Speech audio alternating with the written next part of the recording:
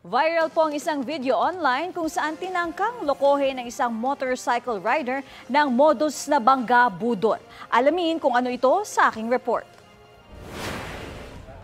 Viral ngayon sa social media ang kuhang ito ni Mark Andrew Ong sa Tayuman, Manila. Kwento ni Mark, pauwi na raw sana siya nang mapansin ng isang matandang lalaki na sasalubungin siya sa daan. Iniwasan niya ito, pero nagulat na lang daw siya nang pagkalampas niya ay biglang natumba ang matanda at sinabing nabangga niya ito.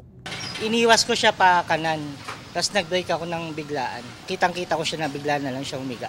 Dito na raw siya kinabahan dahil tila kukuyugin na siya. Buti na lang, may nagpakilalang pulis at pumagit na.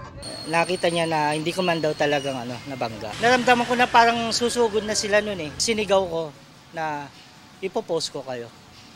Tapos merong isa na lumapit na parang sabi na magkalma muna. Matapos daw niya itong sabihin, bigla na lang tumayo ang matandang lalaki sa likod. Hindi na raw siya kinausap nito at nakipagkamay na lang. Ang ganitong insidente, hindi na raw bago ayon sa mga otoridad.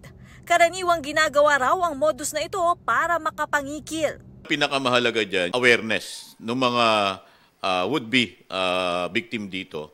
At uh, nagdududa tayo na ito ay isang scam. Unang-una, wag tayo agad bumigay dun sa mga demand nila. Uh, hayaan nating uh, magpaimbestiga tayo sa kinaukulan. Karaniwang ginagawa raw ang modus na ito sa mga lugar na walang bantay na pulis. Malaking tulong din daw kung makakapag-invest sa mga dashcam.